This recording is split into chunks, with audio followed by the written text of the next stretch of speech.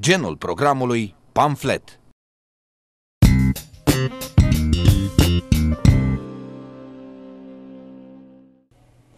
Sunt un cetățean obișnuit care, dacă ar avea posibilitatea, ar renunța și la asigurările de sănătate obligatorii și la cele pentru pensia de stat. La medic plătesc oricum. Merg cel mai adesea la un cabinet privat, iar la pensie sper să trăiesc 100 de ani, dar să am puterea să muncesc până în ultima zi, că în baza sumelor ce mi se vor cuveni n-am nicio șansă de supraviețuire. Ca mine sunt mii de români, dar posibilitatea de a alege între sistemul privat și cel de stat nu există. Ca urmare, dacă toți sunt asigurați și am câteva servicii medicale incluse pe care oricum le-am plătit, am zis hai să și beneficiez de el. Respect regulile, mă adaptez la sistem și vreau să reduc și costurile.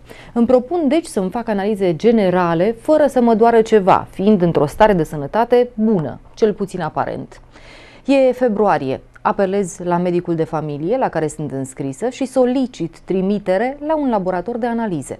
Fără trimitere nu mă pot programa la analize. Nu mă pot trece nici măcar pe o listă de așteptare. Nu exist. Cu trimiterea reușesc să intru pe listă. Cu zâmbetul pe buze sunt anunțată că sunt așteptată în luna mai. Mai devreme nu sunt locuri. Alți asigurați sunt pe listă înaintea mea. Eram pregătită pentru o amânare, dar nici chiar așa. Și nu doar eu, nici sistemul nu e pregătit. Trimiterea de la medicul de familie, fără de care nu se poate face programarea, este valabilă două luni, 60 de zile. Ori din februarie până în mai sunt cam 90 de zile. Ca urmare, în ziua în care sunt programată, trimiterea mea nu va mai fi de fapt valabilă. Soluția de avarie găsită de oamenii care lucrează în sistem, de laboratoare, care lucrează în orb și fac programări în baza unor speranțe, căci nu știu ce fonduri vor avea luna viitoare, este aceea de a mă trimite încă o dată la medicul de familie, undeva prin luna aprilie. Acesta mai face odată aceeași trimitere, dar cu o altă dată, document care îl substituie pe primul identic, dar care va fi valabil în ziua recoltării de sânge. Exact același lucru se întâmplă dacă asiguratul solicită trimitere la specialist, și de cele mai multe ori avem nevoie de specialiști.